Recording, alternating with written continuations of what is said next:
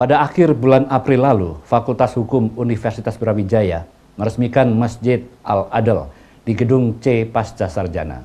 Peresmian dilakukan oleh Dekan Fakultas Hukum Universitas Brawijaya, Dr. Rahmat Syafaat SHMSI, dan Wakil Rektor 2 Universitas Brawijaya, Dr. Sihabudin SHMH. Peresmian Masjid Al-Adl ini diharapkan dapat meningkatkan aktivitas ibadah khususnya bagi sivitas akademika Fakultas Hukum Universitas Brawijaya.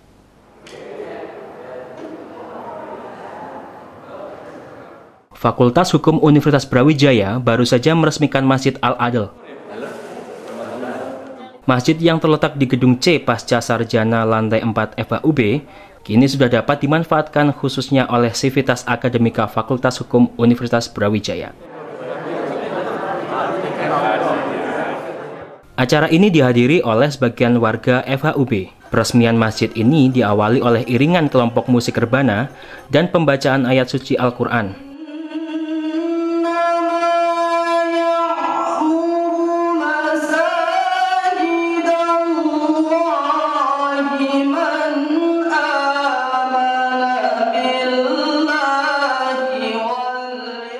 Dekan Fakultas Hukum Universitas Brawijaya, Dr. Rahmat Syafaat SHMSI, menyampaikan bahwa Masjid Al-Adil ini merupakan bentuk realisasi dari semangat ketakwaan umat Islam. nanti Pak Sihab untuk sekaligus meresmikan dan memberikan kesempatan dua kata. Mohon maaf kalau ada kekurangan. Ya, ya sebenarnya ini tuntutan uh, semangat untuk ketakwaan dan kerja ikhlas. Karena umat Islam didorong untuk bertakwa dan melakukan ibadah dalam berbagai segi baik dalam ibadah dalam bentuk melakukan pencarian ilmu maupun ibadah-ibadah mahdoh dalam bentuk wujudnya hubungannya dengan Allah Subhanahu wa taala.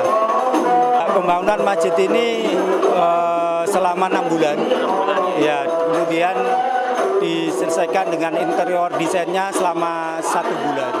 Jadi praktis total tujuh bulan memerintahkan kalian untuk adil nanti pertimbangannya calon-calon hakim yang harus di dalam kesempatan yang sama, Wakil Rektor 2 Bidang Administrasi dan Keuangan Universitas Brawijaya, Dr. Sihabudin SHMH, mengharapkan dengan kehadiran Masjid Al-Adil ini akan dapat mengakomodasi kebutuhan fasilitas bagi umat Islam, khususnya di dalam menampung para jamaah ibadah sholat Jumat di lingkungan Universitas Brawijaya.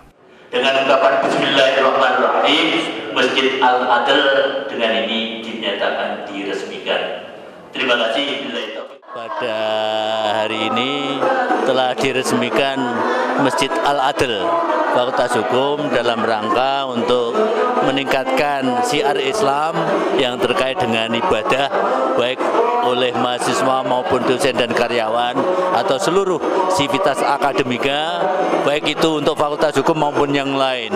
Utamanya karena terkait dengan ternyata pada saat sholat Jumat ini sering kali masjid yang ada yang sudah ada itu nggak mencukupi sehingga mudah-mudahan dengan adanya Masjid Al-Adil yang digunakan untuk sholat Jumat ini menjadi terpenuhi. Selain itu mudah-mudahan penggunaannya bukan hanya untuk ibadah, untuk sholat, tetapi juga untuk kegiatan-kegiatan keagamaan yang lain dalam rangka untuk pembinaan mental para generasi mendatang. Selain memberikan sambutan, Dekan Fakultas Hukum UB dan Wakil Rektor 2 UB juga melakukan penandatanganan prasasti peresmian Masjid Al-Adl. Dan dengan ditandatanganinya prasasti peresmian ini, maka telah diresmikanlah penggunaan Masjid Al-Adl Fakultas Hukum Universitas Brawijaya. Realisasi pembangunan Masjid Al-Adl yang diperkirakan berkapasitas 400 jamaah ini juga didukung penuh oleh para alumni Fakultas Hukum Universitas Brawijaya.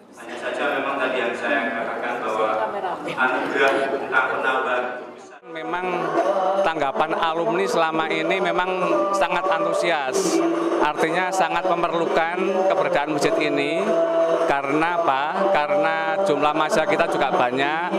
Nah, terutama kalau saat uh, melaksanakan ibadah sholat Jumat ini memang anu sementara ini kan kita menggunakan ekonomi.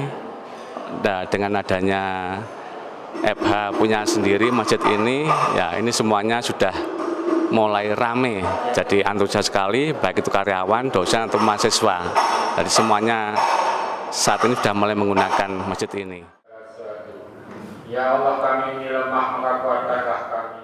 Selain menjadi tempat ibadah, Masjid Al-Adil ini diharapkan dapat menjadi pusat pengembangan keilmuan dan mewadahi kegiatan mahasiswa maupun dosen di Fakultas Hukum Universitas Brawijaya. Ya, harapan kami mudah-mudahan masjid ini menjadi pusat pengembangan keilmuan, pusat diskusi, dan pusat perubahan peradaban juga, terutama di lingkungan fakultas kita. Sehingga yang penting adalah bagaimana setelah diresmikan masjid ini makmur untuk berbagai aktivitas. Ya harapannya ya ke depan tentunya bisa memadai semua aktivitas yang ada di Fakultas Hukum nanti bisa dari kalangan mahasiswa, dari dosen, misalnya ada pengajian rutin dan seterusnya, ada kajian-kajian khusus oleh mahasiswa dan seterusnya seperti itu.